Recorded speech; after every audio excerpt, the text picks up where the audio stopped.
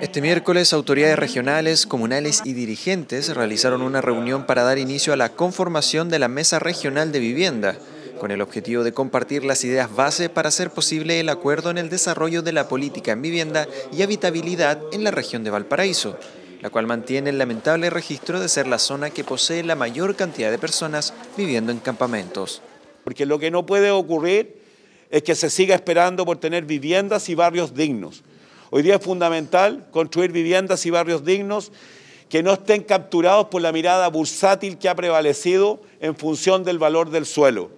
Hoy día tenemos el concurso y tuvieron aquí los mandos también de la Marina, porque hay un compromiso por parte de la Marina de poner a disposición bienes fiscales, suelos, para construir viviendas. Dentro de los principales puntos tratados, el más relevante fue el anuncio de impulsar un convenio de programación entre el gobierno regional y el Ministerio de Vivienda, el cual implicará una inversión de 40 mil millones de pesos en la búsqueda de medidas que vayan en mejora de la calidad habitacional y urbanismo en la zona. Acá hay un hecho concreto en que se ha acordado una aprobación de recursos para complementar el presupuesto que maneja el MIMBU en materia de subsidios y en materia de vivienda.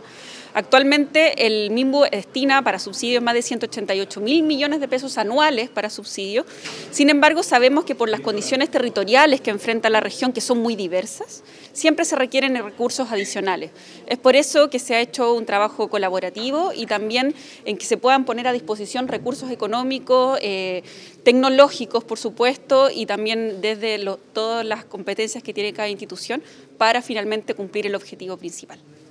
La actividad se realizó en el marco del Acuerdo por el Barrio y la Vivienda Digna, en donde se busca como parte de los objetivos entregar mayores atribuciones y recursos a los estamentos gubernamentales de cada región, por lo que se espera firmar el convenio en los próximos días. Los protagonistas son nuestros vecinos y vecinas, pero también los municipios tenemos mucho que aportar, pues somos la puerta de entrada del Estado y quienes estamos en contacto directo con cada uno de los territorios. Y cuando hablamos de inequidad territorial, también hablamos de vivienda. Hemos visto dos líneas importantes de financiamiento, una de ellas la compra de suelo, creo que y suelo de calidad y dignos para la familia de la región de Valparaíso y la segunda línea la construcción de barrios eh, financiamiento de plaza y otras cosas que sean importantes para darle dignidad a la familia de la región.